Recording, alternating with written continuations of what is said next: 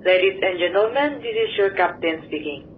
On behalf of the entire crew, it's my pleasure to extend a warm welcome to the Festival Budaya Internasional 2023. We are truly honored to have you as witnesses to this remarkable event.